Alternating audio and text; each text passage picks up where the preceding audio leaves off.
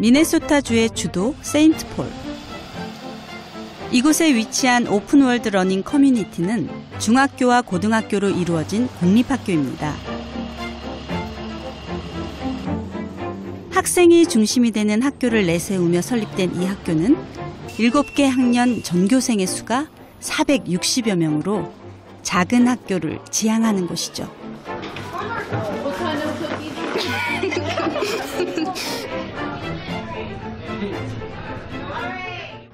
오픈월드 러닝이 작은 학교를 유지하고 있는 이유는 학생, 교사 등 학교 구성원 모두가 관계를 맺고 지내는 가족 같은 공동체를 만들기 위해서입니다. 학교는 이것을 실현하기 위해 crew라고 부르는 특별한 시스템을 운영하고 있습니다.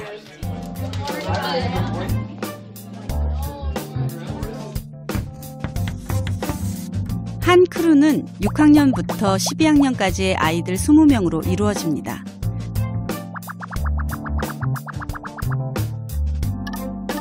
학년뿐 아니라 성별, 인종, 성적 등이 고루 분포되도록 계획적으로 구성되어 있죠. I, I think um, uh, starting out with our history, uh, some of the values were student centered. We wanted um, to continue student voice. Um, one of the, the key is that we want to know every kid. We want to bring all our kids together. We want our sixth graders to know our 12th graders. Think about something you're looking forward to in the next week.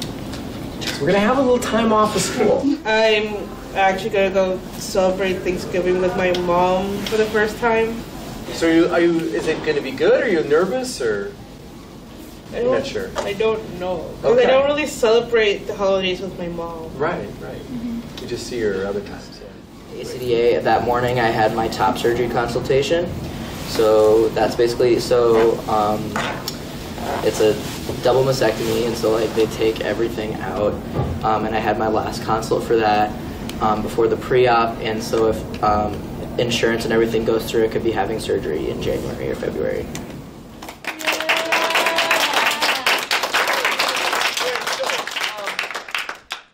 선생님은 크루 하나를 맡아 아이들의 멘토 역할을 합니다. 이렇게 이루어진 21명의 크루는 학교를 다니는 7년 내내 함께 생활하게 되죠.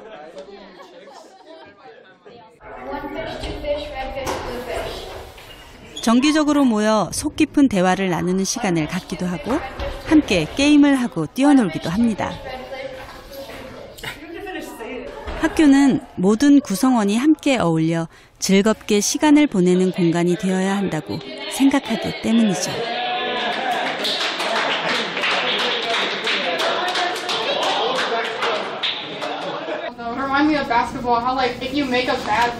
다양한 학년이 섞여 있어 서로 공부를 가르치고 배우는 과정을 통해서 학습 효과도 나타납니다.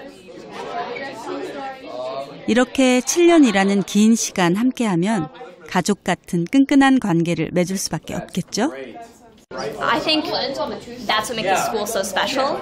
And I think I would like it a lot less if it wasn't mixed ages because I love the opportunity to get to like interact with older people that I wouldn't necessarily interact with. crew like i said like the school is a family.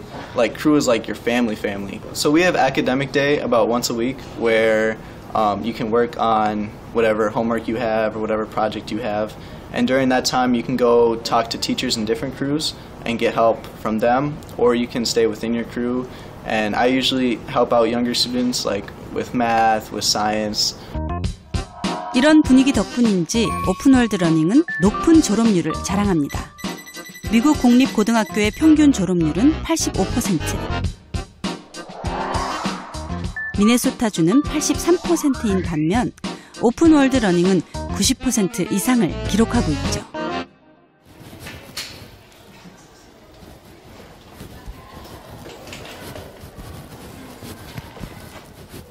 (12학년의) 영어 수업 웬일인지 교실이 조용합니다. 주어진 시간 안에 선생님이 제시한 주제에 대해 자신의 의견을 서술하는 시간인데요.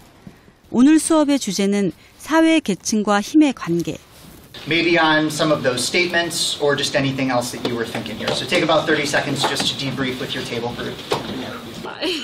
자신의 생각을 글로 쓴 다음에는 말로 표현하는 시간입니다. Money is like power and stuff, and like people are or people respect people with money. All right, well, I'll talk about the third statement.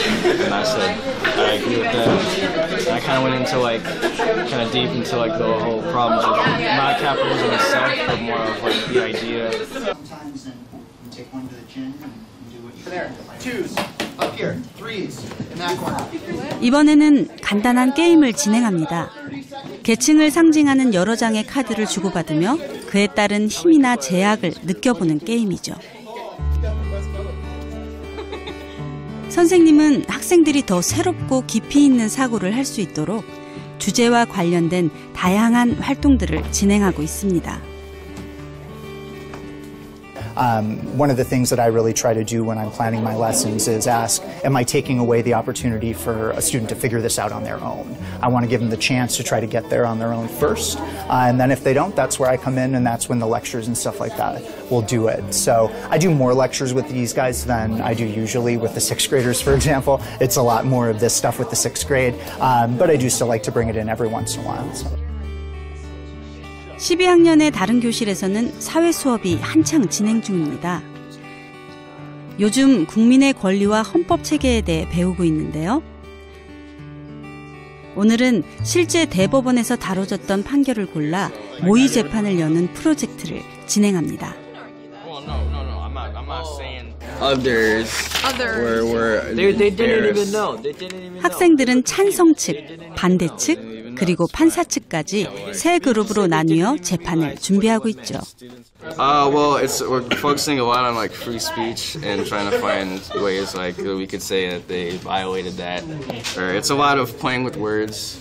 We're on the opposite side of the spectrum, you know, and we're kind of trying to um, yeah, enforce like the school rule, and yeah. which is not enforced by the school, simply given the option. 오픈월드 러닝의 수업은 대부분 프로젝트에 기반해 이루어집니다. 스스로 생각하고 문제를 해결하는 과정에서 더 큰 학습 효과가 나타난다고 여기기 때문이죠.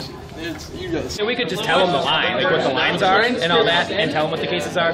But in this case, they learn a lot about it. Not only do they learn about where the lines are in these cases, in, in terms of freedom of religion, freedom of speech, but they also get to see how our Supreme Court works. So their learning is a lot more tiers to it by, by taking this angle with it. That it's not just you take a test, you're done. Like you have to really put all your effort and combine different aspects of learning into a project, which I think really prepares you for the real world. Because in the real world, it's not like here's your job, here's a piece piece of paper, like do it. You have to like work on like um, projects, and you have to uh, work with it with your peers to help create a good product.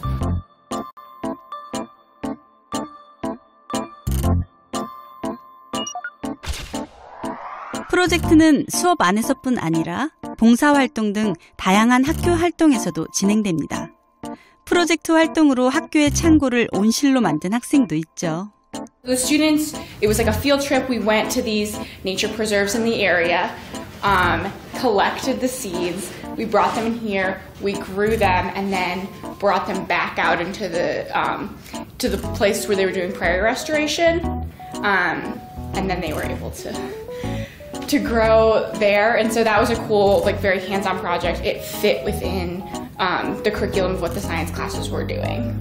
Um, and I have, you know, some essays. Some 2017년 오픈월드 러닝을 졸업한 시에나. 온실 프로젝트를 포함한 7년간의 학교 생활은 졸업 작품으로 만들었던 이 한 권의 책에 빼곡하게 담겨 있습니다. 스스로 계획하고 실행하는 다양한 프로젝트 활동들을 통해 그녀는 무엇을 배웠을까요? I was given so many opportunities to like fail and have to like kind of build myself back up. Um, and I was like supported through, and I like got the understand, like I learned to understand that failure was okay and that um, I can use that to be even more successful. That's been super valuable in college. 오픈월드 러닝에서는 학생들의 대학 진학을 위한 다양한 프로그램도 운영하고 있습니다. 대학 입시 준비로 바쁜 시간을 보내고 있는 12학년 AJ. 요즘 공부하는 틈틈이 참여하고 있는 프로그램이 있는데요. That, I think I'm. 대학 진학을 앞둔 학생들에게 학교 선택에서부터 원서 작성까지 실질적인 입시 준비를 도와주는 업워드 바운드라는 프로그램입니다. It's been a huge help, and I've done so many things with them that it takes up a lot of my time. Uh, just for example, like on the weekends, we'll have events and, and meetups where we focus on like, you know, team building and also just um, like filling our portfolio with uh, work that we could show for these colleges and you take 대입 에세이 작성을 도와주는 프로그램도 학생들에게 반응이 좋습니다. 학교에서는 12학년 학생들의 마지막 학기에 많은 시간을 투자하고 있는데요. 이런 다양한 프로그램들 외에도 선생님 한 명이 대여섯 명의 학생들을 맡아 대입 준비를 돕고 있습니다. 이런 노력들은 지난 수년 동안 대학 진학률 100%라는 놀라운 수치로 나타나고 있죠. Is that true, like 100%? It is correct. Yeah, ab- absolutely 100%. It's a requirement in the fall quarter to apply to and get accepted to at least one college. That could be a four year college, it could be a two year college, um, but it's a required part of our senior seminar class that they apply. Uh, acceptance of college, graduation rates, um, but I also think happy lives, joyful lives, as we call it in our vision.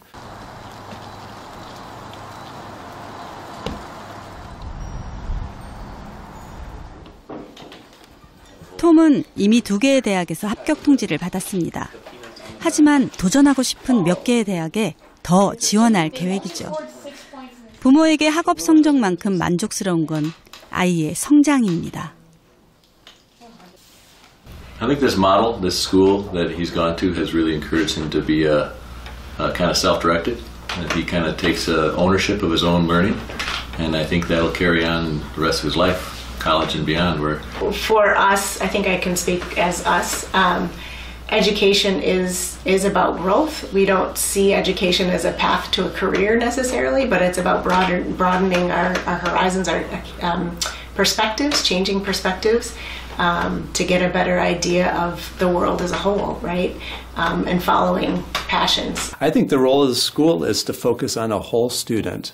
Um, so our role is to get to know those students really well and to help that journey along. So, like, uh, you don't believe, like, in a, uh, a rotten apples, uh, you know, what, uh, you know, to ruin the whole box? Never, never. Everyone comes to us at a different place. And our job is to figure out what that place is and to support that kid along the way.